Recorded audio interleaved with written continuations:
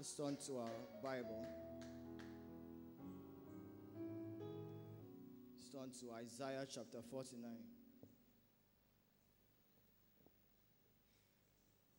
Read from verse 13 down to 16. Sing, O heavens, and be joyful, O earth, and break forth into singing, O mountains. For the Lord had comforted his people and will have mercy upon his afflicted. But Zion said, The Lord had forsaken me, and my Lord had forgotten me. Can a woman forget her suckling child, that she should not have compassion on the son of her womb? Yea, they may forget, yet will I not forget thee. Behold, I have graven thee upon the palms of my hands. Thy walls are continually before me. Read again in John chapter 8. Take from verse 1 to 7.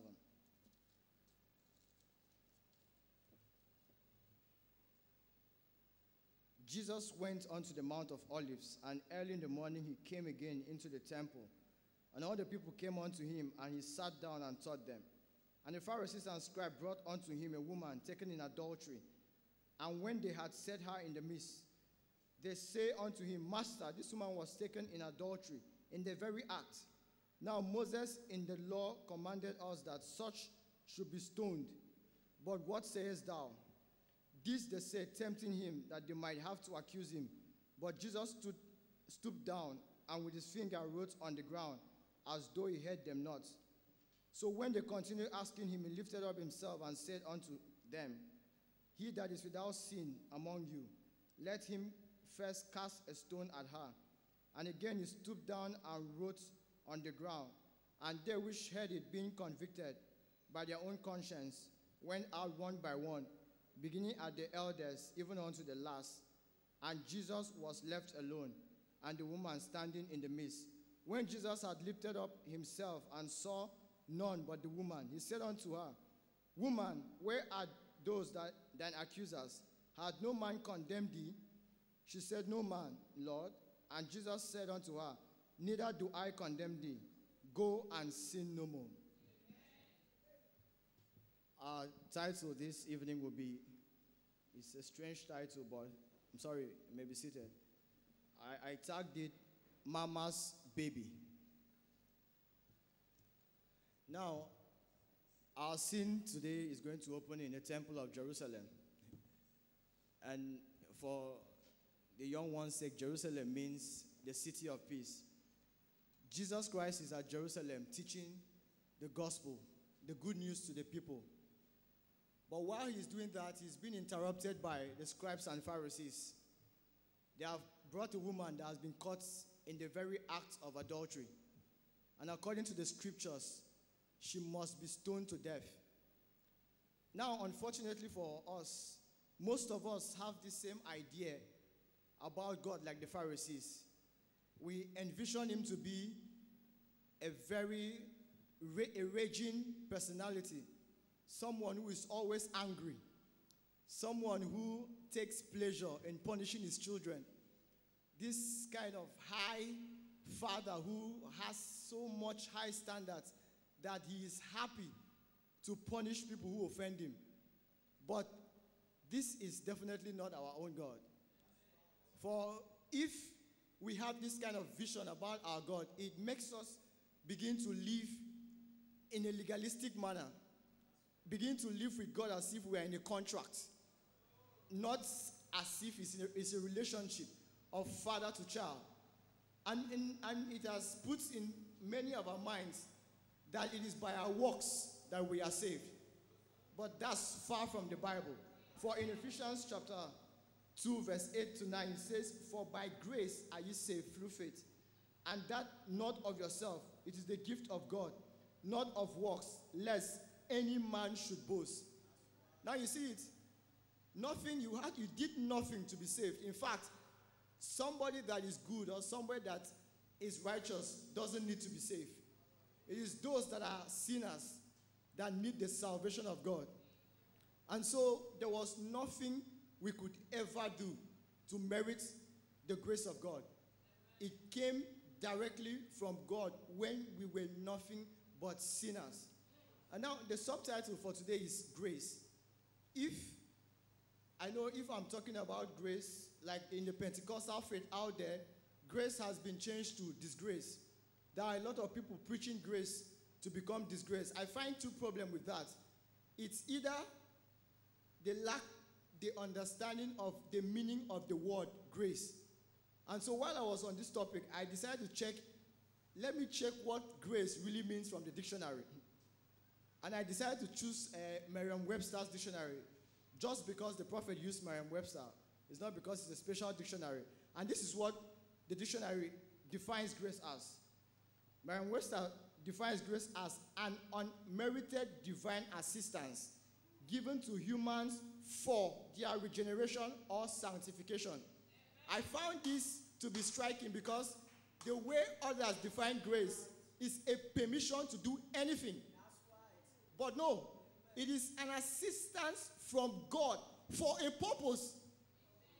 It is for regeneration or sanctification. It is not just, okay, do whatsoever you want to do. Grace comes for a purpose. It's not a permission to sin. It's not one safe, I am safe forever, I can go ahead and do anything. No, God knew that man could not live righteously. So, how could he do it? He offered grace, divine assistance, to help man to be sanctified, to help man to be regenerated. It is grace that offers mercy. It is grace that brings forgiveness of sin. It is God's grace. Now, some of us may, may be thinking in our hearts that there is a kind of sin that we have committed that God would not answer us. God would just forsake us forever. We think that the depth of our sin, the height of the sin that we've committed, is so terrible that God will not forgive. But this again is not the nature of our God. For Psalms chapter 103, please, if you can help me with that verse. Psalm chapter 103, verse 8 is going to be a long reading to 17. This is the nature of God. Watch. Psalm 103, 8 to 17. The Lord is merciful and gracious, slow to anger, and plenteous in mercy. He will not always chide, neither will he keep his anger forever. He hath not dealt with us after our sins, nor rewarded us according to our iniquities. For as the heaven is high above the earth, so great is his mercy towards them that fear him. As far as the east is from the west, so far had he removed our transgressions from us. Like as the father pitied his children, so the Lord pitied them that fear him. For he knoweth our frame. He remembered that we are dust. As for man, his days are as grass, as a flower of the field, so he flourisheth. For the wind passeth over, and it is gone, and the place thereof shall know it no more. But the mercy of the Lord is from everlasting to everlasting upon them that fear him, and his righteousness unto children's children. Now, this is the nature of our God. This is our God. He's not a raging wicked man as people picture him to be in our days. It is because of this kind of picture. It makes people go to a position where they self justify themselves. I'm going to come to that. I hope time permits me anyway. But now, Brother Branham said you will know somebody by their reaction. He said that you can paint your action in a certain way. But it is your reaction when somebody does something to you. How do you react? That is when we know who you are. And then the grace is as old as when sin began. The very first time man sinned, the reaction of God was grace. And then this, this tells us that this is truly the nature of our God. Adam had sinned, the whole human race was in trouble. Adam did exactly what God told him not to do. And when Adam did this, watch God. Adam went hiding with fig leaf religion. But God had to come. Adam crying in the field. Adam, Adam, where is my son? Where is he? He was desperate looking for his own son. Adam, where are you? And finally, God found Adam. And what did God do? God looked to them. He had to, the, the, the, the, the law was broken, and the penalty for the broken law was death. What could God do at this instance? God looked. He took out their covering. He, he, he, he killed a lamb and wrapped them, looking at them, saying, Don't worry, son. One day, a higher lamb will die for your sins, and you will not have to die for it anymore. This was God's grace shown to man. Now, watch. Many of us, when we fall into problem, let's learn a lesson from Adam and God. When we fall into problem, some refuse to come to church. Some come to church and place a wall before them that whatsoever chastisement the preacher is bringing bounces off. If only they would know that after chastisement comes grace. God is not chastising you because he hates you. The preacher standing on the pulpit is not saying those words because he hates you. After those words, when you accept the chastisement that you are wrong, God offers grace. This always follows every time God comes on the scene. Now, that is how grace is as old. And now, grace left from there to show that I am just bringing Adam and Eve to show that this is the nature of our God. For what somebody reacts at the first instance, that is who he is. And now, God continued that grace with Abraham. I would have told the story, but I like to read it directly from what the prophet said. In a message, 610827, Message of Grace, paragraph 85. We call another character where God's grace was extended. Many of them will just speak of a few. Abraham, no special man, come down from the Tower of Babel, perhaps come out of an idolater bunch. His father, come down in the land of Shinar, down there to dwell in the city of Ur. And while he was there, God spoke to him by grace. Not because he was different, not because he was be- a better man, but by grace, God called him. The Bible clearly makes that known. Oh, Abraham, how Abraham tested God's patience. Told him, said, Abraham, stay in this land. Don't you go out. But as soon as famine come, Abraham ran. Abraham spoke of us. God took Abraham by grace and saved him. And that's how he takes you by grace. And how do we test his patience? Today we are up, tomorrow we are down. One day we believe, the next day we are wandering. Today we are Methodist, tomorrow we are Baptist. Today we believe in divine healing, tomorrow the tummy ache comes, and we don't know whether we believe it or not. But yet, in the midst of all that, God wants us to stay put. But He saves us anyhow. If it wasn't the grace of God, we'd all be gone. Sure. God saves us by His grace. Abraham was supposed to stay in that land, but he went down into the Chaldeans, not Chaldeans, but the Philistines. Went down there to sojourn to get out of the famine. Things was a little hard up in his country. So he went down there to join it down there with them. Done exactly what God told him not to do. But yet the grace of God appeared to him. Kept Pharaoh, the king, from taking his wife. Grace of God. When Abraham said, It's my sister, lied about it, but yet the grace of God held him because he repented. He was willing to repent. And anybody that's willing to repent, the grace of God still goes for you. The grace of God is searching for you. So that goes for you, backsliders, this morning. I say this evening, the grace of God is still looking for you. If you just repent, God's grace is sufficient. How we took good old Abraham, brought him back. I remember Abraham was not saved by his works, he was saved by grace. He was saved by faith, which is grace. And God saved Abraham because of his grace, not because of his behavior. He saved him because of his grace. Oh, how good he was saved by grace. Now, that's the nature of our God. Long suffering, patient with us, always looking for us to come back right. When we sin, the first thing in our mind is to run away from God's chastisement. But God is always searching, looking, crying out, Where are you? Come forth. He cries out in every minister, in every conversation. But yet sometimes we become so adamant that God is trying to speak to us, and yet because of this vision in our mind that, oh, we can't go back home, my dad will kill me, we run away from God everywhere. We know that even in our natural thing, when the father chastises the son, he is not going to kill him. If the son stays home two days and he doesn't come back home, you know how the father begins to feel. That's the same thing we do to God. We break his heart truthfully because the elect, all of them must come to God's kingdom. And one going out, it breaks God's heart. It takes God to tears. It makes him begin to fight. And the Bible says, if God did this actually for Abraham, the Bible says we are Abraham's seeds. Why wouldn't God do the same thing for you? if he did it for Abraham, why not you? If you're not still convinced, I will still go further. I'll read in that same quote 120, we'll start from 124 to 130. Now, this is talking about David. We know how David took someone's wife. And the Bible says David is, is referred to the apple of God's eye.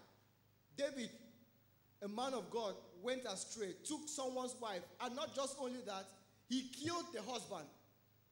And here the prophet Nathan came to David and told David, Look, there, there is a, a rich man down here. He had this, he had uh, so many flocks, and this other poor man had just one lamb, which he treated like a daughter. And then, when the visitor came to visit the rich man, the rich man now went and took this other man's lamb and slayed it and used it for the celebration. What do you think we should do to this man? Human beings. Immediately with the stone, he jumped. He must pay with his life. Let me read it from the prophet. 124. Now that was David's passions. He had 500 wives, but when he seen Uriah's wife, instead of taking one of his wife, one of his 500 wives to appease or satisfy his passion, he went took this other man's wife, then killed Uriah when she became a mother. David didn't know what he was doing. Why? David was ready to pronounce judgment. That's the way we are. We can always judge the other fellow. But when it comes to us, oh, that's different. David said, the man will pay with his life. The old prophet, them eyes narrowed down. He said, David, surely you will not die. What grace there goes to work right quick. The spirit struck the prophet, saved David's life. Grace, surely you will not die. But the sun will not leave your house till it's thoroughly purged your heart. For you are that rich man. Oh, it was different then, One wasn't it? What saved David when his own judgment said, The man will die. He will pay to the uttermost, and he will pay for it with his life. And the prophet said, Surely, grace in brackets. You will not die. You will not die. David, grace has saved you. It was grace to David that saved him. Oh my. If it hadn't been for grace, where would we all be? Is that right? Brothers and sisters, what have you done? What have you done that is worse than David, Abraham, Adam, who by him, through all the generations of human beings to this kind of life, what really have you done that you think God cannot forgive? I would like, what, what seriously have we done that we come to a point where we think that God will never answer us, except you blaspheme anyway. But outside that, what have you done? I ask you again. We have to come to this position of grace. I mean, if you're not still convinced, I would like to point to another biblical character the thief at the cross. Now, this guy had done so many wickedness in his life. He had killed people, he had taken from the poor, he had even sent some souls to hell by his influence. In fact, maybe there must be somewhere that wasn't ready to die, and he killed a person, and the person went to hell. But here the thief was on the cross, hanging, and he saw Jesus. Now, the natural mind is an enemy of man. Let's say we were at the cross with Jesus Christ, and the background of what we have done as this kind of criminal. We will begin to think in our mind, am I, am I crazy to ask God for forgiveness? After all I have done? No, no uh, let me not just, this, before he curses me the more, let me respect myself and go to where I'm going. But no, this thief knew something. And Branham explains what this thief knew. That same message, 130. Sovereign grace is from a sovereign one. Sovereign grace from a sovereign one. Sovereign, what can it do? Sovereign can do whatsoever it wants. Listen to this now. Sovereign grace can only be given by one that's sovereign, and that God is sovereign. So he can give sovereign grace. Therefore, being sovereign grace, grace doesn't have to ask anybody. He don't have to. He does what he wants. Isn't that wonderful? He don't have to ask, can I do this? Shall I do this? Can I? Must I? Will I? Doesn't do it. It does it itself. Grace is sovereign. Therefore, he can save the vilest, he can save the worst, he can save the impurest. He can save the immoralist. He can heal the sickest. Hallelujah. That thief knew scripture more than some people. He knew that this is a sovereign God hanging on the cross. He doesn't need to take permission from who he wronged day before yesterday, last year, who he sent to hell, who he did evil to. He doesn't need to take permission from anybody. He is a sovereign God. And if he acts, he had just one opportunity. And we have opportunity upon opportunity upon opportunity, and we take it for granted. But this thief had just one opportunity, and he took it. And when he acted it, God gave him grace. The sovereign God showed him grace. This is what I'm trying to bring. We have an opportunity tonight. Grace is available to everybody. And if we can just hold forth to that grace, if we can hold forth to that grace this evening, that divine assistance, then sanctification could not be a problem. The baptism of the Holy Spirit is not a problem because it is God giving to us. Now, watch it. There is one thing there. Grace is available right now in this pulpit. Just like when the children of Israel offended God and snakes came to destroy their life, God instructed the prophet Moses. He said, Raise up a brazen serpent. If you look to it, you will be saved. Now, in the human mind, how can looking at the brazen serpent save me or heal me from a mamba's bite? Just look.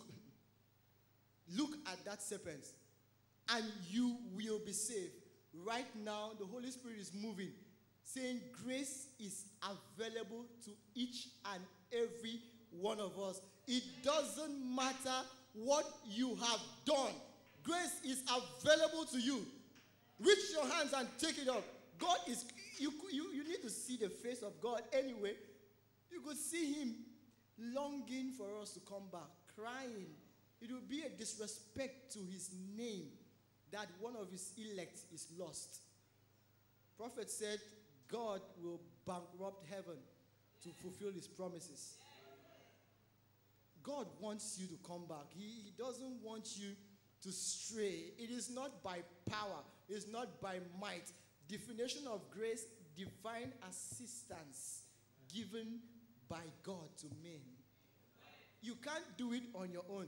That is why grace is available for you. I'll read another quote.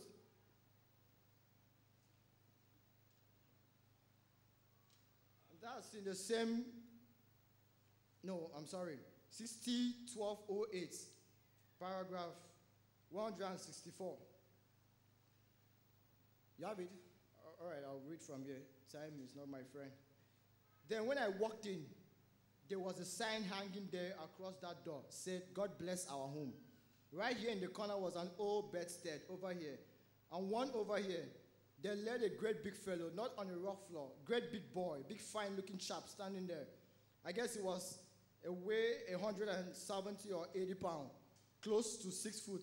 And he had the blanket in his hand going, mm, mm. And she said, Mama's baby. Now, this is where I took my text from.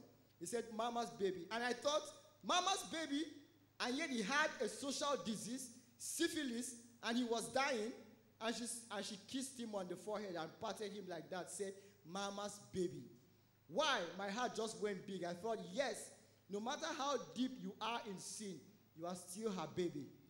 Then I thought, see, no matter how bad off he was, he's still mama's baby. And I thought, God said a mother may forget her suckling babe, but I can never forget you, for your name's engraved in the palms of my hand. See, how could it be? Now that's human for you. That man went and had syphilis disease, embarrassed the mother. It was such a disgrace to a Christian mother. But yet, look at the reaction of the mother towards his son. Mama's baby. And we are told by the prophet that God is the mama eagle. Now, no matter what we have done, he's still mama's baby. He still loves us. He still his taught for us at the thought of peace and not of evil. It's a good thought towards us. God said this when the children of Israel were going to captivity in Babylon. This is when he said it. I know the thoughts I have towards you. Don't look at about this chastisement. It is for your own good. After chastisement, commit grace. And so when we come to church, when the preacher is saying something, let's open our hearts. The chastisement will not kill us. The preacher will not hold this pulpit to destroy God's people. It is for grace. Grace brings chastisement. I've been in a place where I had complex and I looked at people after saying the word of the Lord many times and many times and many times, and I myself, I say, man, whatever they do, I, I'm not saying anything again. They should be like that. Maybe that's how they were made. That is, that was the human part that came. But sometimes I feel this person deserves to hear this kind of thing. And then it is grace that give me the courage to go back and meet the person after I have been insulted. It is grace that goes back and say, look, this is the right way. That is God's grace. After we have disobeyed him, after we have done so much, we've mocked him. We've mocked his message. We've brought reproach to his message. But God's grace is still calling unto us. Come back. Come back. I am here to assist you. The strength is not your own, you have to know. That is why you have to look up to the serpent and receive strength from there. Abraham's covenant is 10210. And when I could show you in the Bible that he forgives all of our iniquity, heals all our diseases, let me just take a hold of that promise and say, Father God, I'm weak. I need you. I know you keep your word. You are El Shaddai. I'm believing you, Lord. Fill me with your spirit. Wash me in your blood. Take me back, oh Lord, and try me. Let me lean against the bustle. I am your child. I was born to you, but I got weak. But you are my strength giver. You promised you would do it. And I'm just going to hold right here, Lord. I'm going to be satisfied that you fill me with your spirit. Wash me in your blood. Take away all of my condemnation. Heal my body. What a promise it is to confirm this promise to Abraham. I'm El Shaddai. Well, Abraham, I'm a prostitute. I'm a drunkard. I'm an alcoholic. I'm all of this. I don't care what you are. Come right up to El Shaddai. If your strength and all hopes is gone, the alcoholic anonymous has given you up, the doctor has given you up, there's nothing can be done for you. He's El Shaddai, the strong one. Lean upon his bosom and just nurse and be satisfied. He will bring it to pass. Won't you love him? That's the, that's the prophet saying these things to you. He understood what grace is. And that is why one of the outstanding messages he brought was the message of grace. Now, you, you are not a born away. When we were young, at, at the age of this, my brother, my, my uncle and them used to have a friend, they used to call him born away.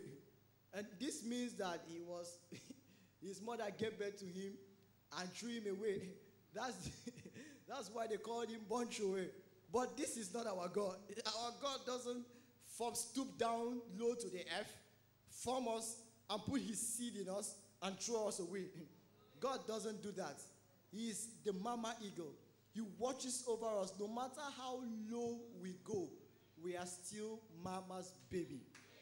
I, I, I brought this, I brought this to see if I can banish the thoughts of a raging God from our mind.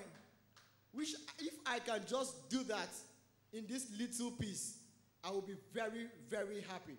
That is our God. Now let's, oh God, let's immediately consider Judas and Peter. Peter had sinned against God. In our day, it's a very dangerous thing to deny God. When you do that, it's a serious crime. But Peter did it. He denied God. Judas sold God. He also sinned. Peter also sinned. But Judas, he repented. The Bible says so. The Bible said Judas repented himself. Peter also repented. But Judas seek to justify himself by the carnality of man.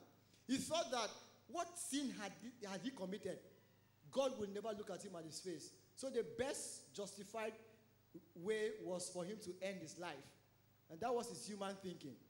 And today I say unto us, please, let's not justify ourselves. No matter what you have done. I mean, maybe some women might think in their mind that I've been so immoral that I won't find a husband amongst this message body. God wouldn't be good to me to give me a clean husband. But consider Rahab. Rahab must, he might have not married a preacher, but he married a warrior. There is still somebody that God has for you. If only you repent. Now, when God looked upon that woman, he looked upon the woman and, and saw and elected. And by scripture, the Bible says, Who can lay charge against God's elect? You can't do it. God looked at her and said, No one has condemned you, neither do I. God cannot condemn even the elect. And God said, But there is a commandment.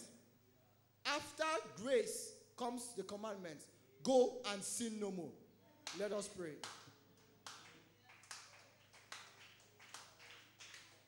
Oh, be it unto me according to your word, according to your promises. I can stand secure. Oh, there is grace today. Let's let's let's start by saying, Lord, forgive me. I, I had a different thought about you. I, I thought you were a wicked God that would never consider me. I thought because of the things I have done that your grace is not sufficient. But grace stretches. It stretches. It stretches for you. I, am not talking about disgrace here. Don't get me wrong. It is an assistance by God. It's not a permission to do nonsense. It is an assistance by God to do the right thing. It stretches for you. The grace is available right now. If only you will accept it. Lord, forgive me, Lord. I had a very wrong. The people of the world thought me evil. I had a very wrong vision about you, Lord. I thought you were wicked. I thought you were a father that abandons his children. But I found by the opening of the seals, I had my name read I am the royal seed of Abraham, and I know you would never lose me. Have mercy upon my foolishness. Have mercy upon my inability to recognize your nature, your truthful nature, your long suffering nature. Oh God, have mercy upon me. Have mercy upon my people, Lord. We've had, Lord Jesus Christ, a wrong conception about you. Oh, time did not permit, Lord. Examples of examples in the Bible of when you showed your grace. We all know these things, but it's a reminder to your people, Lord, if only I can show people, oh God, the nature of our God, that we are in a relationship. We are not in a contract. No, no, Lord. We've fallen, Lord. We have been a disgrace to you, but Lord, you still care. We are still mama's baby. Oh Lord. You still love us. We did not know, Lord. Maybe we knew, but we forgot. But oh God, we are coming back. We are coming back.